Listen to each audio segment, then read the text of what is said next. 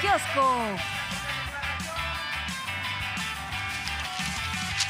Y la ministra, presidenta de la Corte, Norma Piña, se sigue dando sus baños de pureza. Ella dice que los jueces, magistrados y ministros son imparciales, cuando sabemos que eso es una mentira.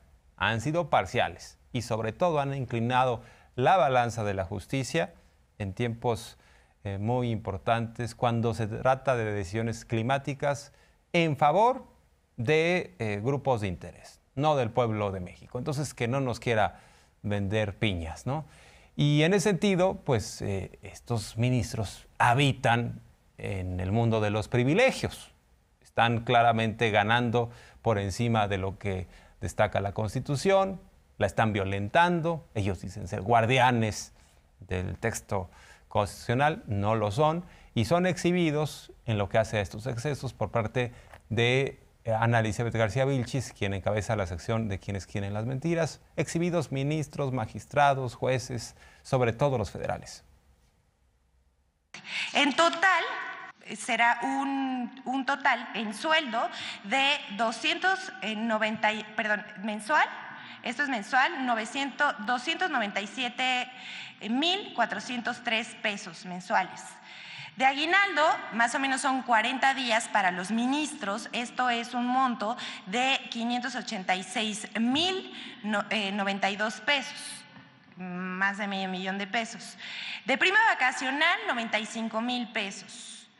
Eh, 95, eh, sí, eh, son 10 días de sueldo, eh, gastos de alimentación en restaurantes, el erario, les paga anuales 723.690 pesos. Un pago por riesgo de 640 mil pesos. Esto es anual y se paga en el mes de junio. Tienen un estímulo por antigüedad de eh, mm, más o menos eh, mil pesos anuales. Tienen derecho a dos vehículos blindados. El costo por cada vehículo blindado supera los 3 millones de pesos. Eh, pueden ser, ya saben, de la marca Suburban eh, para atención a los ministros. Y un apoyo a gasolina de 22 mil pesos mensuales. Pues ¿a dónde van?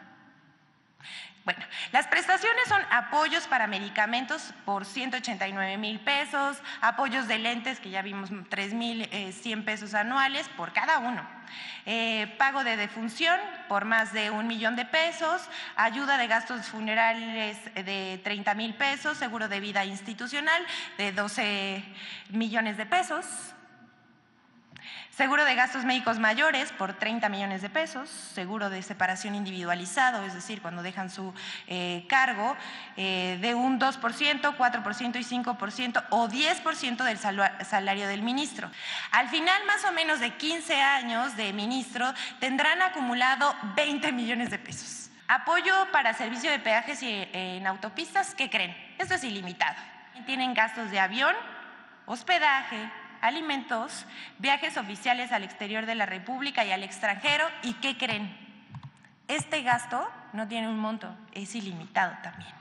En fin, el presupuesto para contratar personal mensual, es decir, asesores, todo este crew que los acompaña, son más de, 500, de 5 millones 540 mil pesos. Ahí está eh, el total.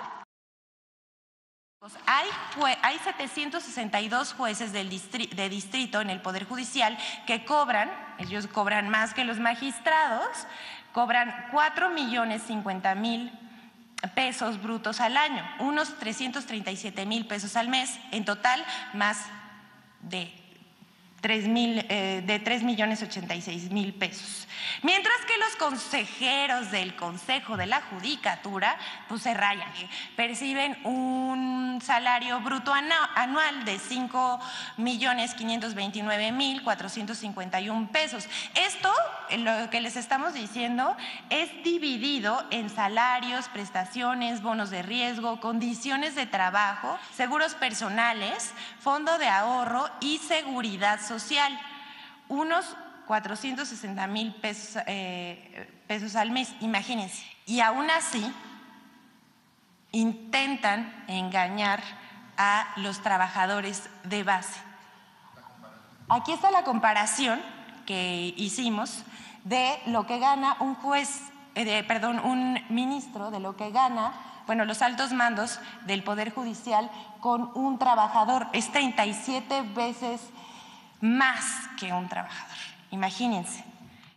El mundo de caramelo. Imaginen lo que ganan y algunos de ellos no solo es eso, sino las mochadas, porque sí se prestan, insisto, algunos actos de corrupción.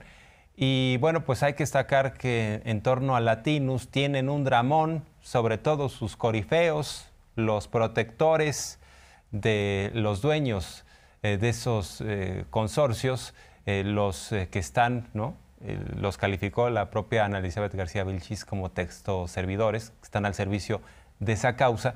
Pero aquí el tema es un asunto legal y sobre todo también moral, porque en la parte legal ¿Cómo es posible que el consorcio de Latinus esté cobrando por servicios médicos y luego haga unos enjuagues de tal manera que mande el dinero al extranjero, eh, ahí a un paraíso fiscal en Delaware, y luego lo regrese para pagarle a sus trabajadores que son reporteros, comunicadores, staff?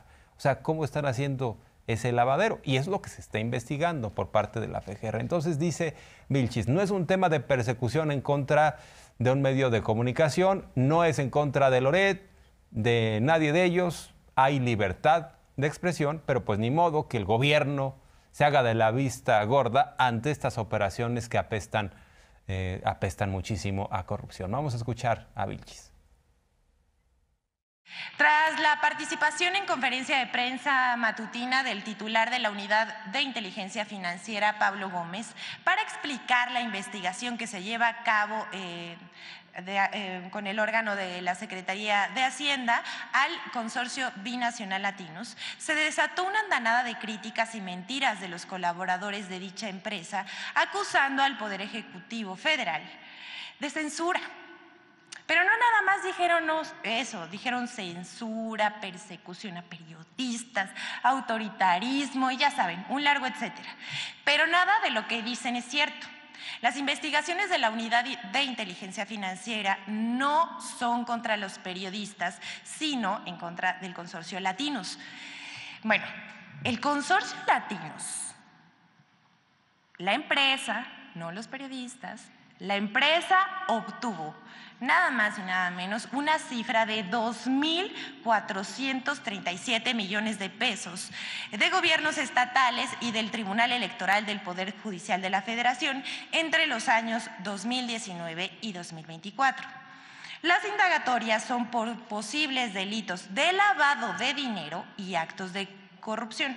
Latinos publicó un comunicado en el cual la verdad es que no niega la triangulación de recursos, pero acusa abuso de poder y de persecución. O sea, el mundo al revés. Sus plumas y sus voces pagadas por la empresa se han dedicado a generar una narrativa golpista en contra del gobierno del presidente Andrés Manuel López Obrador. Eso es innegable. Para eso les pagan. Y ellos se venden, venden sus opiniones, sus líneas son textos servidores al amparo, del erario público.